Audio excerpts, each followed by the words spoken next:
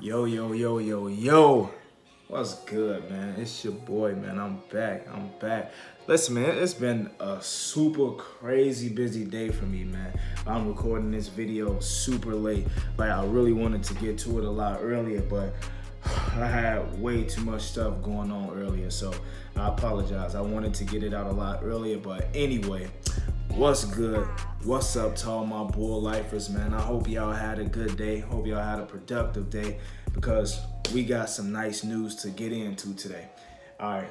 Now, yesterday there was a report that came out, and it, the source of the report was Vinny Goodwill. He's a Bulls beat writer, and essentially what he came out and said was the Bulls were said to have inquired about moving up to the three, and four spot.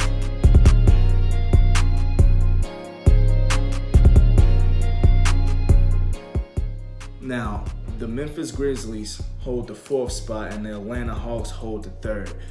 And it's been said that they wanted to move up to those spots because they're interested in Michael Porter Jr.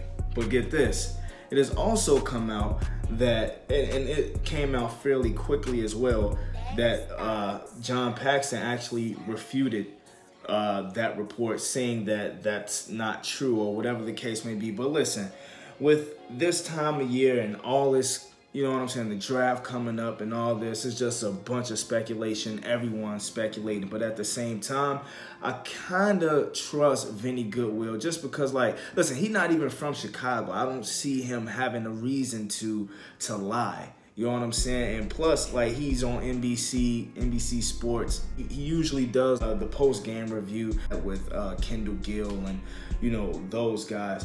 So I don't think that Vinny Goodwill has a reason to lie, but you know how this stuff goes, man. The Vinny Goodwill could have heard something through the grapevine from someone who works in the Bulls office or whatever the case may be. But as I said, it's all speculation, so it's whatever pretty much. You know what I'm saying? But let's say that they are trying to move up to that three or four spot to pull MPJ. Now, how do you guys feel about it? How do you guys feel about them trying to, to move up? I think we already went over a couple trade scenarios, at least with Memphis. See, I, I'm, I'm really not even trying to get into it because the draft is tomorrow and I'm kind of tired of doing all of these all of these mock drafts and all of this speculate or what we could do with this and that and the other. Like it's, I don't know, it's, it's driving me nuts even doing all of this hope and wish. But as I said, the report was refuted by John Paxson. So we don't know, man. We we'll see what happens tomorrow. If they do end up moving up to take Michael Porter Jr., as I said before, I know it's because his medical reports checked out and they truly believe in this kid. He had a great workout with them and and and and their doctors were the ones who actually uh, did his medicals first. They gave him his first physical. So that means that Michael Porter Jr.'s medicals checked out and everything is solid everything must be negative. That's the only way I could see the Bulls trying to move up. And another thing, Michael Porter Jr. finally had his pro day workout. It was actually a personnel man from one of the Western Conference team who actually gave us a little bit of insight on how the pro day went for Michael Porter Jr.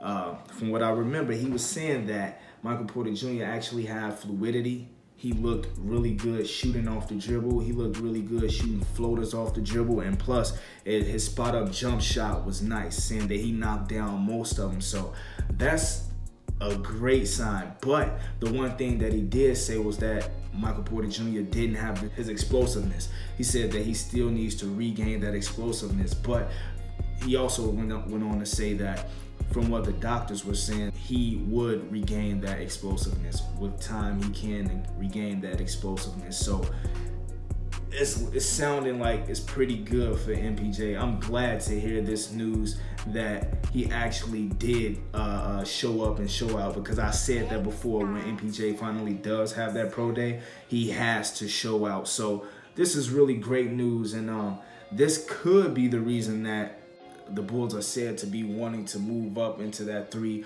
or four spot to grab MPJ. So it sounded like that story could be legit. That's all I gotta say about that one. So moving along. now, uh, today I was listening to a podcast. This podcast is uh, by The Athletic. Now, the two guys that were on the podcast today were uh, a guy named Stephen Noh, and the other was uh, Darnell Mayberry, I believe. Now, these two guys are Bulls writers for the Athletic, and they pretty much they pretty much know their stuff. Like they're really good. Y'all can go check them out at the Athletic. They they have a podcast, and and they're pretty nice. I like them. I listen to them whenever they do drop a podcast.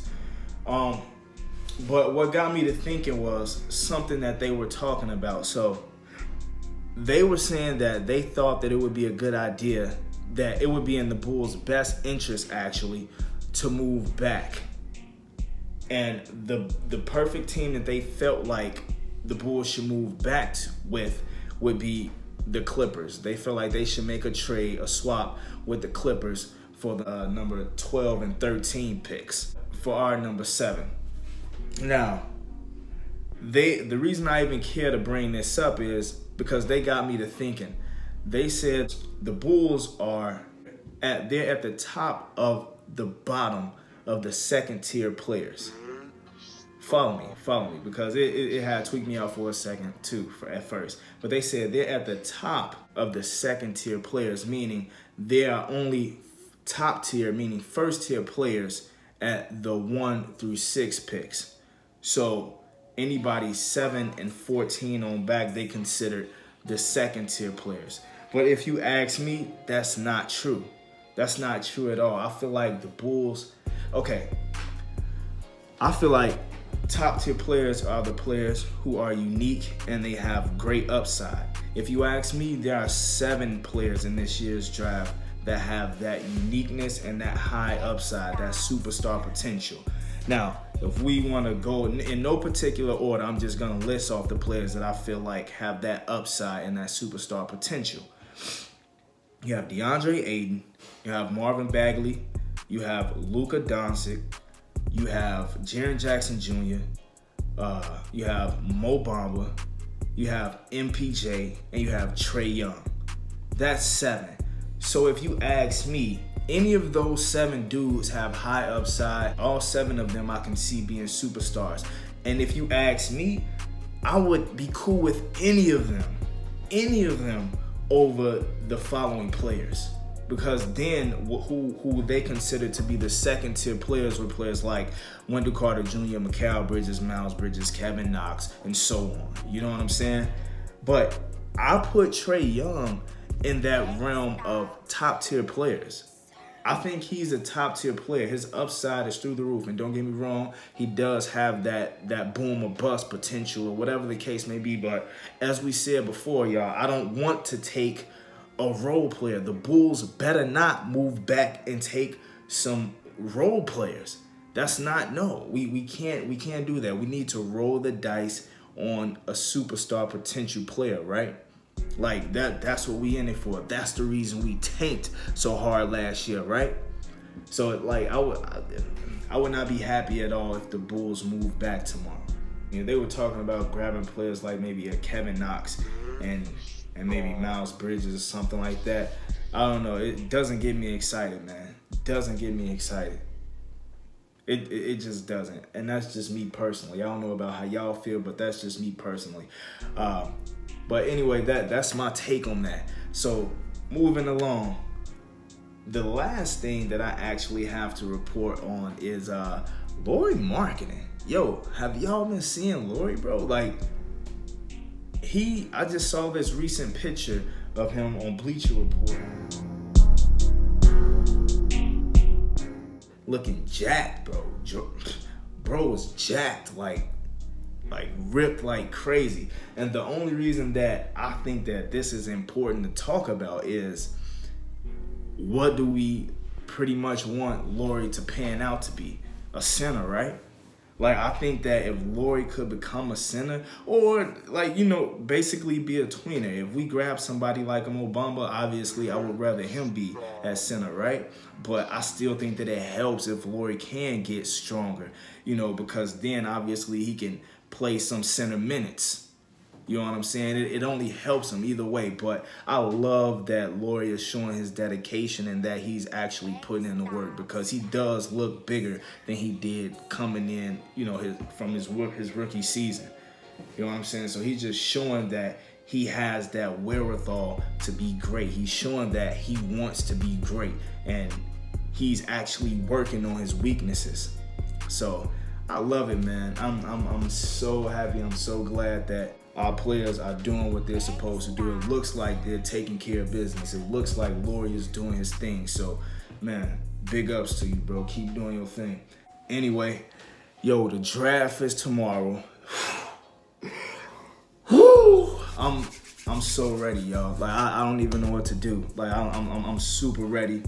Um, we gonna see what it do, man. We definitely gonna see what it do. So man, y'all hold on to your hats, man, cause it's who y'all think we gonna take? Who y'all think we gonna take? Y'all, y'all leave leave it in the comments. Leave it down in the comments below. Like, and be realistic. You know what I'm saying? Like, if if if like if the Bulls move up or something like that, cool. But if they do, who y'all think they take if they move up?